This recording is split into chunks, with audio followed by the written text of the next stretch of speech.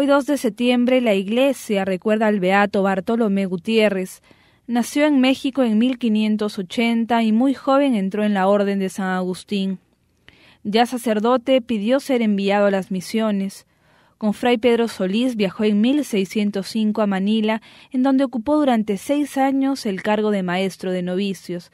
Por fin, en 1612, se embarcó para Japón. En 1613 el emperador Taikosama expulsó a todos los misioneros y fue así que Bartolomé regresó a Manila, pero a petición de sus fieles, al cabo de cinco años, pudo volver disfrazado a Japón, donde trabajó quince años.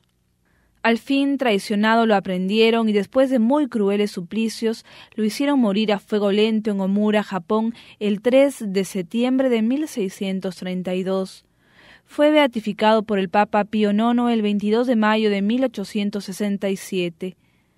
San Bartolomé, que nuestro celo por el apostolado sea tan grande como el tuyo para poder llevar a muchas personas al encuentro con el Señor.